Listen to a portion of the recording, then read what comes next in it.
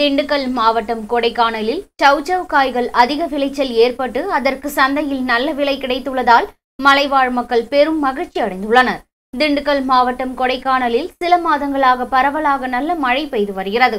இந்த மழையானது கொடைக்கானல் மட்டுமல்லாது கீழ்மலை பகுதிகளான பண்ணைக்காடு தாண்டிக்குடி வாழைகிரி ஊத்து வடகரைப்பாறை மச்சூர் உள்ளிட்ட பல்வேறு இடங்களில் பரவலாக மழை பெய்ததால் அப்பகுதியில் விளைந்து வரும் சௌசௌ காய்களுக்கு நல்ல விளைச்சல் கிடைத்துள்ளது.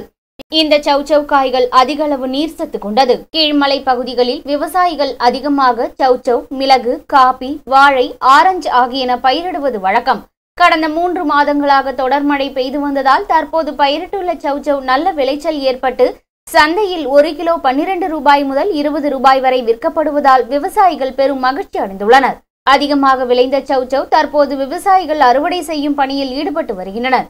விவசாயிகள் அறுவடை செய்த சௌசௌ காய்களை எழுபது கிலோ முதல் எண்பது கிலோ வீதம் வரை ஒவ்வொரு மூட்டையாக தைக்கப்பட்டு வாகனங்களில் மதுரை திருச்சி ஒட்டன்சத்திரம் மற்றும் திண்டுக்கல் ஆகிய வெளி மாவட்ட சந்தைகளுக்கு அனுப்பி வருகின்றனர்